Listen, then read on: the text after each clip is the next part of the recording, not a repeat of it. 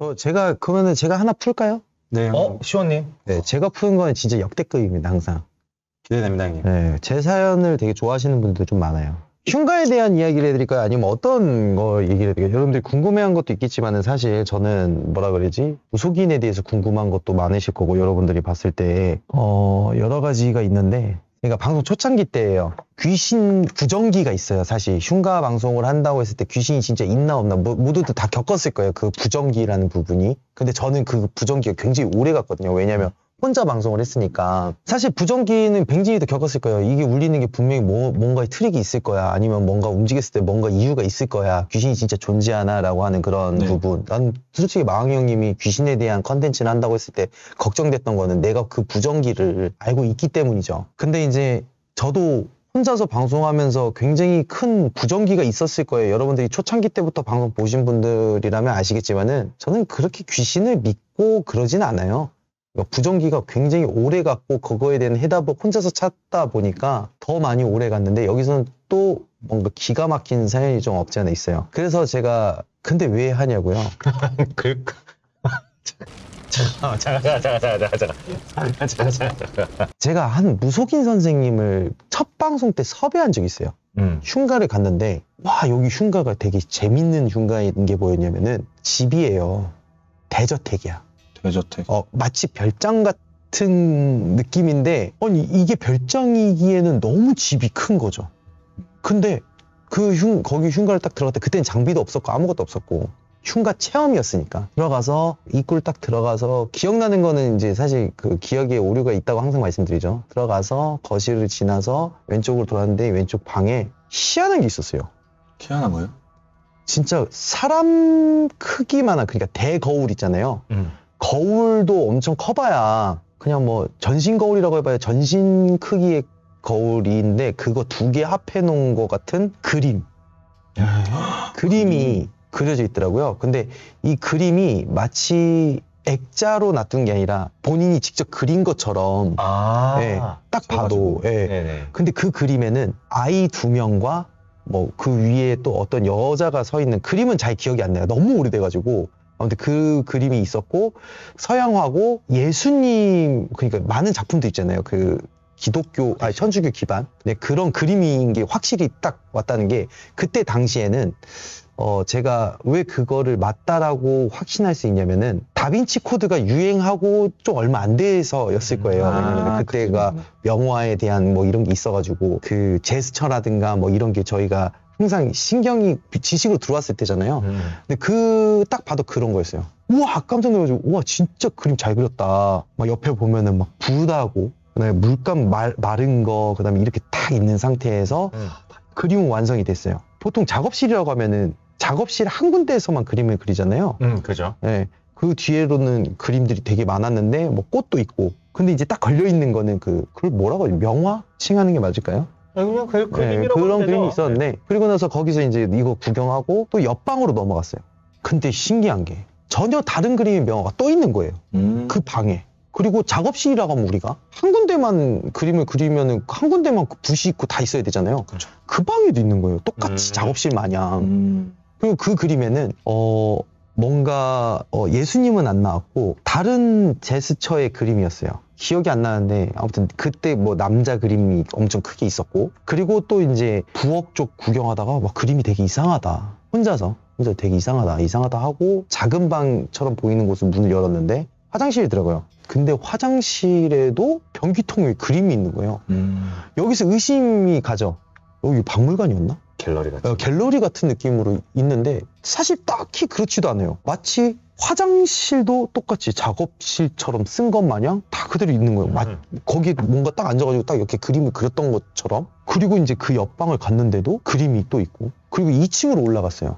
2층으로 올라갔는데도 2층 계단에도 그림이 걸려 있- 있었지만은 각 방마다 그림이 다 있는 거야. 되게 신기하죠.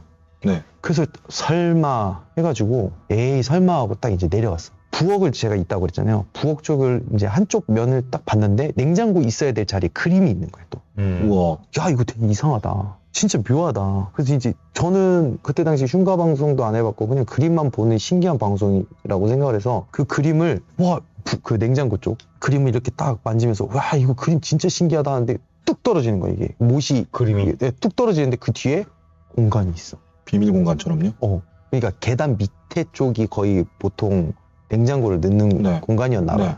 근데 그 밑으로 딱 봤는데 공간이 있는데 거기를 어딜 가는 공간이 아니라 거기 안에 그림이 있는 거야 또. 와. 이거는 미친놈이다. 내가 생각할 때 되게 신기하다. 그림을 가리기 위한 그림으로 이렇게 막아놓은 거 같은 느낌이랄까?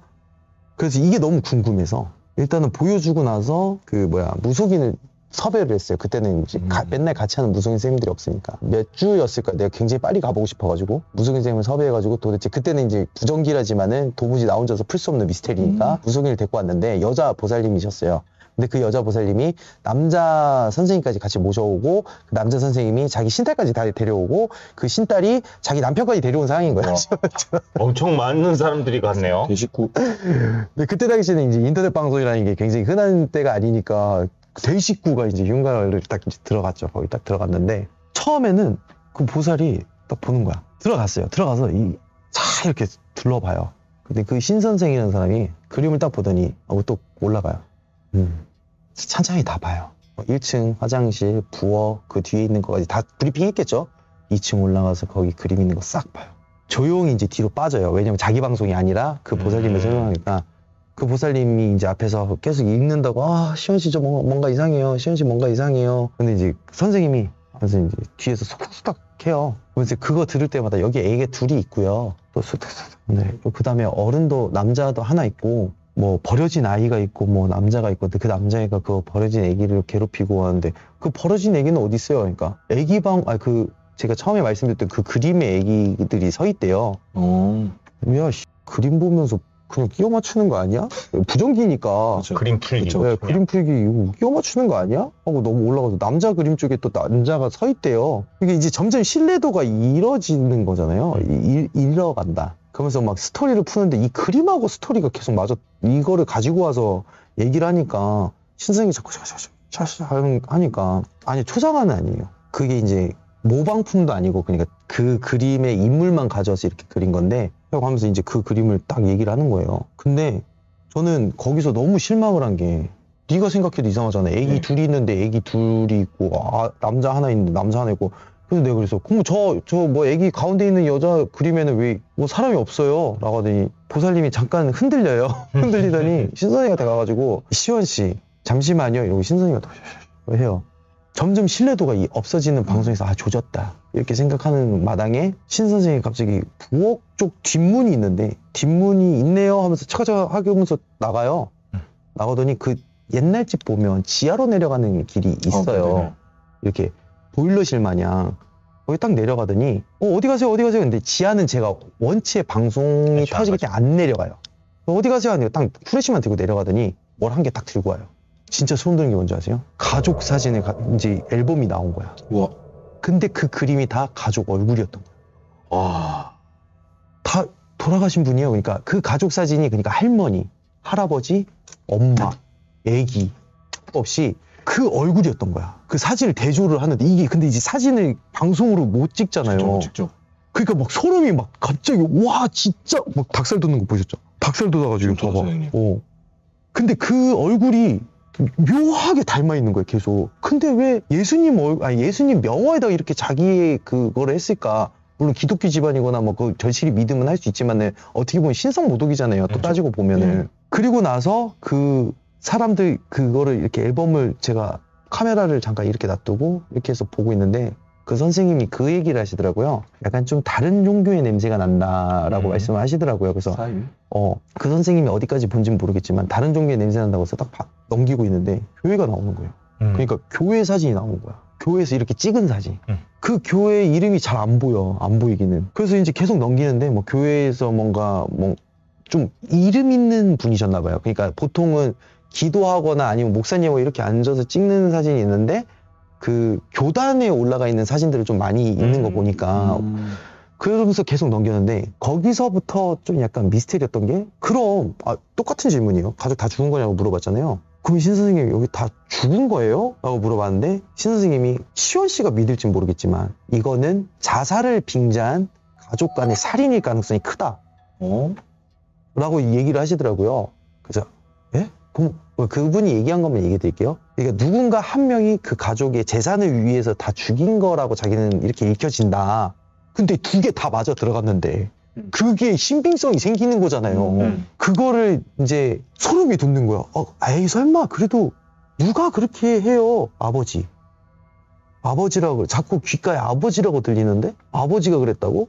그러더니 보살이 갑자기 눈을 까디니까 꽉 이래요. 음. 그래서 어, 야, 괜찮, 아, 저 보살님 괜찮으세요? 괜찮으니까 신아버지 갑자기 가가지고 야, 괜찮아? 야, 안 돼, 뱉어, 뱉어, 막 이런 거예요. 그래서 처음에 생쇼 하나 타이밍에 쇼한다고 생각을 했지 티니까. 근데 뱉어, 뱉어, 그건 아니야. 야, 여기, 여기서 접시하면 안 돼. 뭐저 뱉어, 뱉어 이러는데 갑자기 탁, 아, 저 이제 괜찮아요. 시현 씨, 갑자기 확 익히는 게 다 이상한 약 같은 거 먹은 것 같아요. 이런 얘기를 하는 거예요.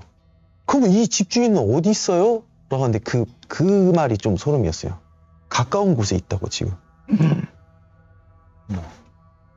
그래서 여기 위험한 곳인가요? 막 이제 물어봤죠. 위험한 곳이라고. 이제 이건 무속인들 의견이에요, 여러분들. 음. 위험한 곳이라고. 그러면 진짜 궁금해서 그런데 화장실 쪽 그림이 제가 기억나는 게 뭐냐면은 딱 그 보통은 바다를 그리거든요. 음. 풍경보. 네, 풍경 하는데 근데 이제 약간 산이 있는 저수지 같은 느낌으로 저수지, 그, 예? 그림을 그리더라고요. 그래서 그럼 화장실 쪽에 저거는 왜 그런 거예요? 라고 물어봤더니 아마 저기가 유력한 어떤 장소일 가능성이 크다라고 이제 시- 저한테 말씀을 해주시는데 에이 설마 저기다가 묻어 무- 뭐 이렇게 했겠어요? 당연히 그렇게 저희는 생각하잖아요. 아니요 증거품이 저기 가능성이 있다. 이렇게 얘기하니까 또 신빙성이 쫙 오는 거야. 증거품. 굳이 증거품을 저기다가 남겨놓은 이유는 뭐죠? 하고 이제 그 방송을 하고 이제 끝나고 나가면서 이제 곰곰이 생각해봤는데 그거죠. 약간 좀 사이코패스 기질이면은 뭔가 이렇게 전시해 놓은 걸 좋아하니까 그럴 수도 있다라는 생각을 하는 거죠. 음. 신빙성이 자주 그럴 수밖에 없는 게 뭐냐면은 우리가 영화나 드라마에서 볼 법한 이야기들이 제가 그거를 직접 겪, 겪은다고 했을 때는 정말 이거는 부정으로 와, 와닿을 수밖에 없어요. 아 그리고 그거 말씀드릴게요. 그 냉장고 뒤에 네. 그림이 떨어지고 그 뒤에 그림이 있다고 그랬잖아요. 그 음. 그림이 뭐였는지 아세요? 수많은 천사들이 있고 예수가 부활했을 때 그 그림이 있었어요. 음. 그거 거- 그 집은 좀 미스테리긴 했어요 사실은 그 신 선생님한테 제가 감명을 받아서 그때 물어봤어요 한참 지나서 혹시 창기는 있나요? 왜냐면 호랑이한테 아. 먹혀 죽은 귀신이 창기인데 혹시 창기가 있나요? 라고 물어봤을 때 아 영상이 없어요 그때 당시에는 다시 보기 자체가 아프리카 TV에서 지원을 안 할 때였어요 완전이네. 네, 옛날이어가지고. 그래서 그 선생님한테 물어봤어요. 창기 귀신, 이제 호랑이도 없는데 잡아먹힌 거 있으면 있지 않냐. 뭐 그러면 창기 자체가 없는 건데 창기가 존재할까? 라고 이제 물어봤을 때, 어, 자기가 아는 스님이 있는데 한번 그분하고 얘기해 보실래요? 해서 음. 이제 그분하고 절에 올라가서 스님한테 들었던 얘기인데 그 스님한테도 이제 똑같은 지- 귀신에 대해서 궁금하니까 물어봤죠. 근데 제가 여러분들 똑같이 했단 말이 그 말이에요. 저 작은 풀잎에 이슬이 맺혀 있는 거 안에도 몇 억겁의 영혼들이 있다. 창기는 존재할 수도 있고 존재하지도 않을 수도 있고 그리고 결국은 뭐 시원 씨가 궁금해하는 거 뭐든지 그게 자연이다. 뭐 이렇게 말씀하셨는데 그것 때문에 그런 사연들이 조금 기억나긴 하는데 뭐 아무튼 그런 내용에 대한 미스테리가 좀 있긴 있었죠. 근데 그림이 마치 상업용으로 팔 정도로 진짜 잘 그렸던 그림이에요. 색칠을 하더라도 그게 뭔가 색칠했다라는 느낌이 아니라 진짜 완벽했거든. 음. 미스테리입니다. 화가였을까요? 모르겠어? 뭐 애초에 그림을 잘 그리니까 아마 화가라고 봐야겠죠. 그 정도로 보였으면 화가였을 가능성이 굉장히 높네요. 그리고 종교화를 그리시는 분이고 네. 음, 뭐 그래. 어떤 실제 기독교나 천주교 일집까지는 모르겠지만 거기 집은 아직도 있을까? 아, 되게 궁금해 하시는 것 같긴 한데. 그래서 제가 한 두 번, 세 번은 더 가봤거든요. 근데 그림이 싹 하나하나씩 없어지면서 그림이 하나도 없, 없는 상태에서 그 집이 제가 옛날에 공포라디오에서 한번 얘기한 적 있거든요. 그 집이 철거가 들어가기 전에 반만 철거가 들어갔어요. 음. 그리고 네, 반철거가 들어가가지고 1층이 남겨져 있는데 그 1층 반도 날라가고 그러니까 조각조각 철거를 했을 텐데 제가 옛날 공포라디오 때 얘기했을 때 그 얘기를 했을 거예요. 누군가 여기를 자꾸 왔다 갔다 하는 것 같아서 마지막으로 갔을 때 아무도 없는데 뭔가 촛불 같은 게 있어가지고 네. 뭐야 여기서 누가 뭔가 했나? 라고 하고 이제 갔는데 그 길이 올라가는 길이 딱 하나란 말이야. 네. 그리고 다 산이야 거의.